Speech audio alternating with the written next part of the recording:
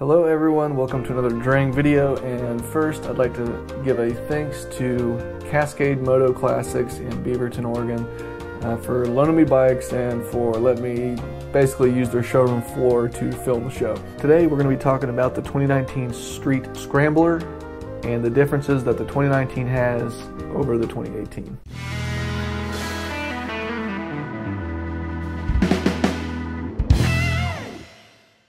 We're going to be looking at a 2019 Triumph Street Scrambler and a 2018 Triumph Street Scrambler. We'll talk about the differences. As with the uh, Street Twin, we're going to get a lot of the same upgrades that have come to the 19, uh, but we'll kind of get into that. Uh, firstly, in looking at the bikes, uh, you're going to notice some fit and finish changes, just a couple. They're very similar looking bikes. Uh, we do have a different, uh, a new available two-tone paint scheme on the 19 and the logo for Street Scrambler looks a little different. Uh, those are not major changes, but they, you know, I think that the uh, two-tone paint looks really good with a sort of brushed metal look to the Triumph logo there. Additionally, at looking at the bike, just like on the Street Twin, we do get the nice Bonneville logo at the top of the instrument cluster, which is not on the 18. It's not on the 18. But again, in looking at the bikes, you know, incredibly similar. Now let's get into the performance a little bit. On our 19, we do have some up, updated engine components that are allowing this bike to have a little more horsepower. So 65 horsepower, 55 horsepower. So we have an 18% boost, up 10 horsepower, 59 foot-pounds of torque, 59 foot-pounds of torque. So the same torque, it's the same bore and stroke, uh, all that kind of stuff. It's just that they've changed component level parts of the engine to make it rev faster and rev higher. So it does have 500 more RPM of rev.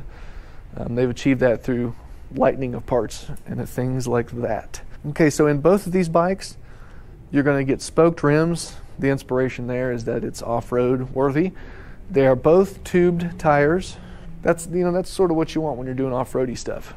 It doesn't matter if you're zipping around town either. If you ask me, I'm a scrambler guy. I'd probably go with the scrambler over the street twin. Okay, with the seats, I'll talk about the, the rear portion of the seat in a moment, but the seats, uh, it has been somewhat updated. It's got a different uh, material on the, the, new seat. It feels really durable.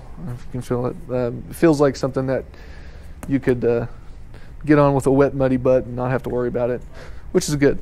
And on this rear rack here, what's interesting about both of these bikes is uh, when you buy this bike, you actually get both the rear pillion seat and the rear rack. So uh, basically, that part comes off, the seat goes on, and a bolt goes in, and the seat's on. So you you can either have the rack or you can have the seat. So you know that's kind of cool.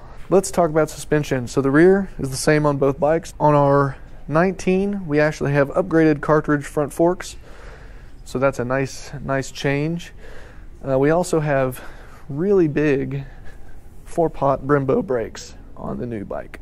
On our old bike, we have a two pot Nissin caliper. I've ridden this bike. Check out the review here. Uh, it's an awesome bike. I didn't have a problem with the brakes at all, uh, but all I'm saying is that the brakes are even better on the 19. Uh, let's look at the cluster. Okay, so when we sit on our 18, which is just an awesome seating bike, must I, might I say. Let's turn it on. So on the on the 18, we have our basic information here. We have our uh, speed up top and we have our tach, which is digital on the 18. Interestingly, the 18 Street Twin did not have a digital tach. This does, but we'll get to that. So you have an inf in info button here. You hit that to change trip, trip one, trip two, miles per gallon. Uh, you have average miles per gallon. You have what you're currently getting. You have clock. There's our tachometer and our traction control, which we can turn off on the 18. We have our ABS, which we can turn off in the 18. Pay attention. So let's go over to the 19. The reason I said pay attention is why is what we're going to get to next. So here we are on the 19. Now the shape is the same, but we do have our Bonneville logo. Now, notice the mode button here. That's a that's a new update to this uh, to the 19 model. Okay, so let's start by hitting. We're on odometer. We go trip one, trip two, miles per gallon, average miles per gallon, our range, clock, our tachometer, which is so so far we're the same. Traction control on or off, and let's hit the button one more time. What? No ABS. Well, actually, you can turn off the ABS, but it's in our mode. So when we hit the mode button, right, we were on rain, now we're on road. We hit one more time, now we're on off road. Well, this is off road ABS. So this is a this allows the rear of the bike to spin free. Does give you some ABS up front. So the off-road mode is going to be basically a, a mix of traction control and ABS. That is optimal for off-road maybe not optimal for everyone. Some people prefer to turn everything off. Um, just depends what kind of rider you are, I guess. But it's important to know the differences between the two in this regard. Personally, I like having road and rain. Does really attract me. We are going to fire this bad boy up and listen to the exhaust note.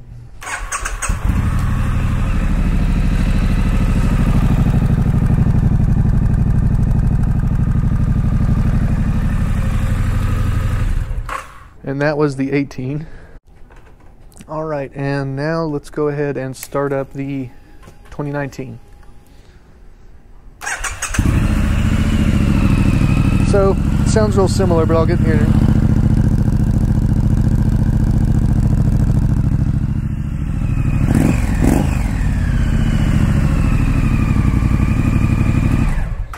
All right, so let's talk cost of the two bikes. Um, as with the Street Twin, there's about a $200 difference between an 18 and a 19. So, um, you know, there is going to be some special deals that Triumph has offered. I believe there's a something about a cash back offer to buy an 18, and you know, it's still a great bike. Um, I really enjoyed riding uh, one of these myself, so um, you know, so that's something to consider. The cost is going to come in about 10, 8 for the 18 and about 11 for the 19. So, you know, you'll have to chew on that. And then there is another bit of news coming out with the Scrambler 1200. Now, we don't have any of those here yet, but uh, they are going to be coming in around 14 all the way to uh, the mid 15s for the uh, higher end, higher spec off road model. So, as soon as we see those, I'll post a video on them. Uh, but if you don't feel like you need that much ground clearance and engine, then you know these are really great bikes that are accessible to a lot of people. Now, I sit. I'm. I have a 36 inch inseam, and these bikes are comfortable. My legs rest perfectly against the pads on the tank. So, um, I don't think shorter riders would have an issue with it either. In fact, I think someone shorter than me would be even more comfortable uh, with the angle of the knee. All right, guys, so with the Street Scrambler, should you go with the 2018 or 2019, you do get a little more power in the 19 model and you get some of the other things that are in the Street Twin, like the upgraded forks and brakes and things like that. It's up to you. Uh, getting special offers and deals from Triumph is also nice too, so I don't think $200 is going to make or break anyone's budget but you know it is 200 more dollars so that's you can factor that in and the extra money from the from the 18 uh, factory giveaways or whatever. That said the scrambler 1200 is coming soon so for you know mm, five six thousand more you could get that beastly bike. Anyways this is Drang and I'll be back with more soon. Have a good one